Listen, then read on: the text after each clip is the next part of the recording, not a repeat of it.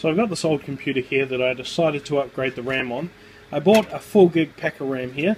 However, I get it home and I try to fit it in the slot and find out that the notches, the notch doesn't fit. So the RAM doesn't sit in the slot. Which makes this utterly useless.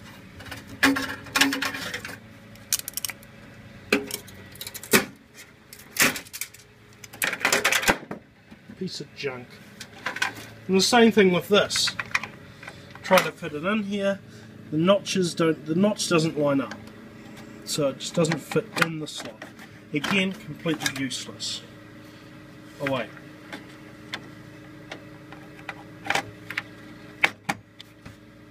Oh. Oh,